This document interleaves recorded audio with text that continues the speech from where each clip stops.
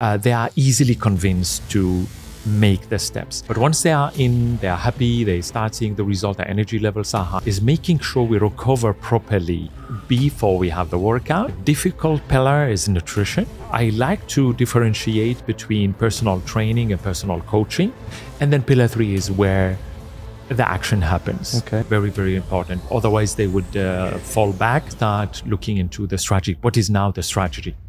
Hi Riad, welcome to our channel. It's Thank the you. Big Human Performance. Thank This you. is our first podcast. We uh, wanted to discuss about the three PPs, like what is it and uh, how did you create it? All right. The the three pillar principle is a holistic system uh, which is containing pillar one recovery, Okay. including sleep and stress management. Pillar two nutrition, applying a preventive approach, and pillar three training, applying an athletic approach. So how I created it is when I started uh, coaching, I saw that the weak link very often uh, it's actually not training; Okay. it's rather recovery, specifically sleep. okay. So, hence, I started taking care about sleep first, and then, of course. To the training, we would always look into nutrition. And so, slowly, step by step, I developed this system in order also to explain it to my clients.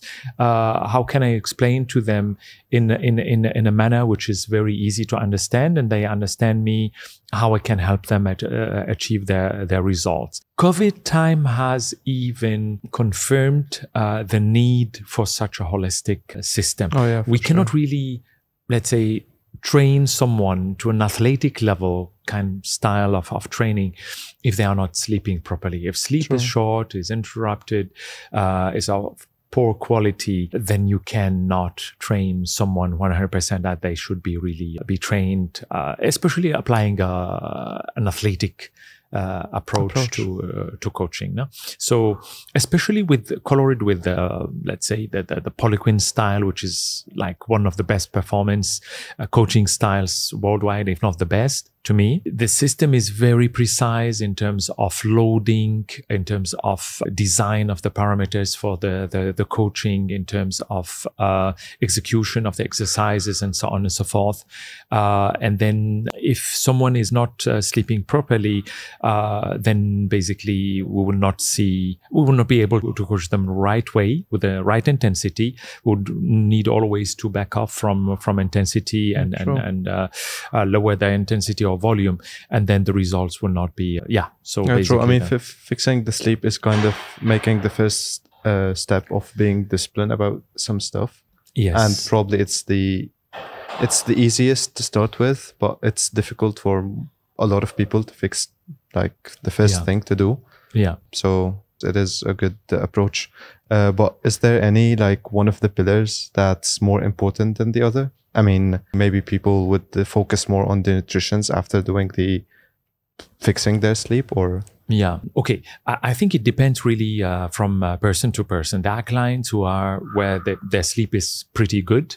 Uh, maybe stress management is not optimized. Then we help them to identify their main stressors and, and give them techniques on how they, they can uh, reduce uh, the stressors or the, the exposure to stressors and or put themselves in a, in a situation which is, let's say, uh, better for them in terms of stress. Um, it depends really. So uh, other people, uh, their weaklings are rather the nutrition. I would say very often nutrition part is the part which is more difficult to uh, apply and comply with because it's uh, about psychologically maybe you are someone is indulging in carbohydrate or certain uh, practices of food and, and uh, intake and so on and so forth and telling them now to cut the carbohydrate. And we know how happy the carbohydrate may, Yeah, may, yeah. may, uh, may make someone.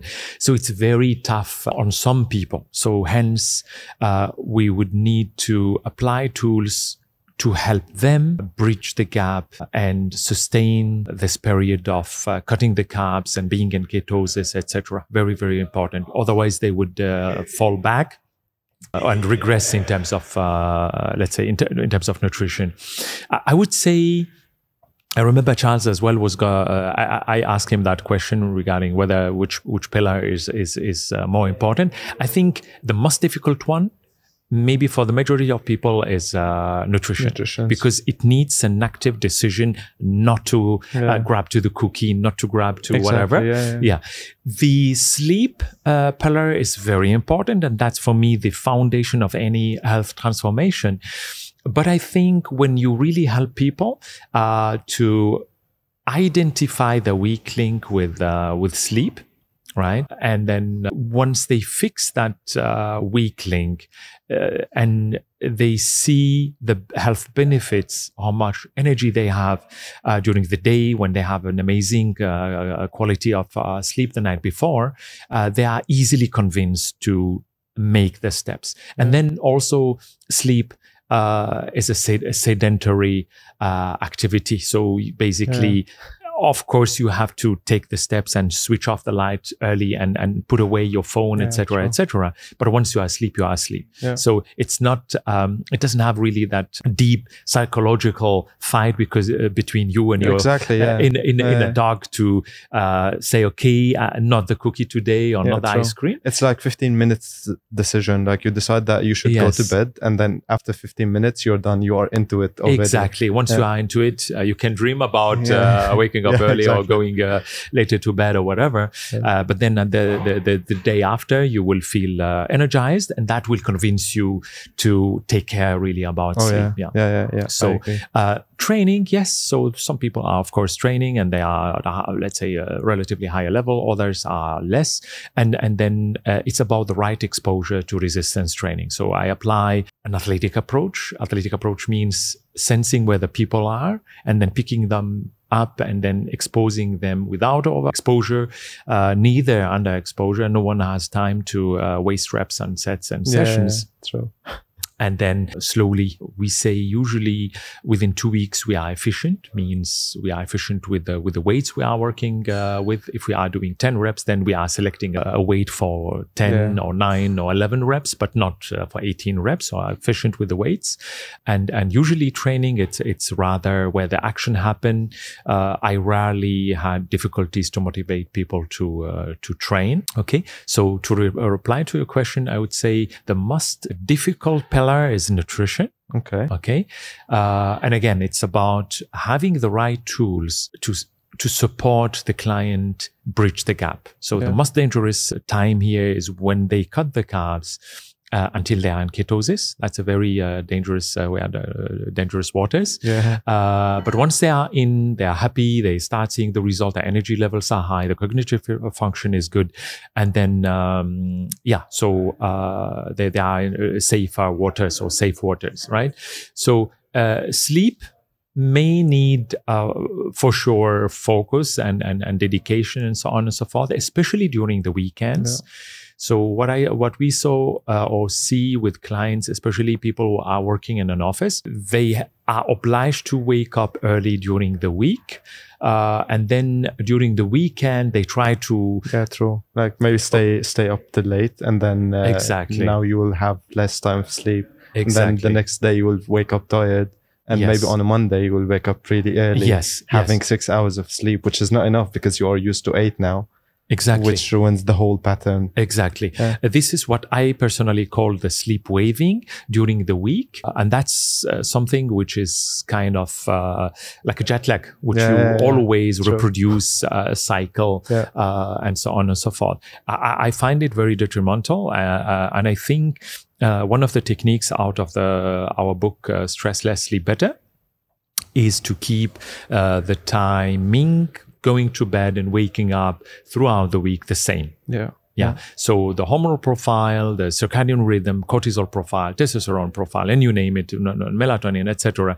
Uh, it's we, we give, let's say, kind of consistent use of the body, or we are better synchronized with okay. the bright dark cycle. So our circadian rhythm, which is uh, basically the cortisol profile throughout uh, the day, is synchronized with the bright dark cycle. So yeah. we wake up at the same time, we uh, go to sleep at the same time. The hormonal profile uh, is not uh, too challenged. So fixed. Yeah, exactly. Yeah.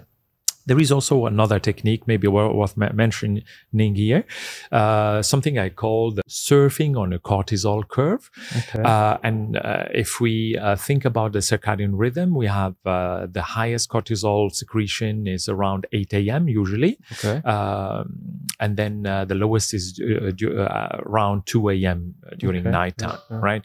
So we need high cortisol in early morning to kick off uh, into the, the day. Yeah. We have energy and release uh, uh, sugar into the bloodstream and so on and so forth. And that's where we should be scheduling higher demanding tasks. Okay. Okay. Yeah, yeah, so, uh, and uh, toward uh, noontime and afternoon time, it's uh, a period where we start uh, reducing maybe uh, into lower demanding tasks uh, let's say if uh, we have a, an important decision, labor, uh, manual labor, bigger or demanding tasks, we should put them early morning and then in the evening or toward PM time, uh, going to lower demanding task or task where we uh, work just by ourselves and so on and yeah. so forth. Yeah. And uh, like this, we synchronize or we surf on a, literally on a cortisol curve. So, for example, scheduling a, a hard workout 9 p.m yeah. That's not surfing on a cortisol curve. Yeah, you have the right. lowest cortisol uh, there, and then you will just spike it for no reason. Okay. Uh, and then this would delay the melatonin secretion, would delay your oh, sleep, yeah, sleep and then uh, disrupt sleep. Okay. And uh, what about the third pillar? So if we mentioned the sleeping and the nutritions, what do you think about the uh, exercising? Like how important it is after fixing your nutritions and your sleep yeah absolutely uh, important i, I mean uh, when i started uh, with the whole education journey toward uh, changing my profession from nuclear engineering to uh, let's say performance coaching uh, the first thing i learned mainly from charles poliquin and but other mentors as well is the training that's where the action happen you would not start with sleeping no right, exactly. you start with the yeah. training people right? always ask like i, I want to start exercising without uh, realizing that they should fix other things first before starting exercising. Exactly, exactly. Well, uh, training is fun. Training is where the action happens. Training is where we build muscle mass, where we, let's say, move the body to adapt and to get stronger and to increase bone density and and and, and you name it. Yeah. So uh, the pillar one is making sure we recover properly before we have the workout. Yes. Yeah. yeah. Uh, pillar two is making sure we have the energy to go through the workout and recover from the workout also okay. as well. And then pillar three is where the action happens. Okay. Okay. And I find it always uh, very interesting when I get uh, new clients. Uh, for me, every client is is uh, is like a project uh, where I start uh, sensing the weak links and then coming up with a strategy after we do the health assessment the biosignature and other screenings for health. So where we start looking into the strategy what is now the strategy for pillar one? What is the strategy for pillar two? What is the strategy for training yeah. yeah. it's like chess game for me yeah, yeah. that's nice yeah and basically that's that's your holistic approach that and maybe Correct. like i mean generally that's why you coach holistically.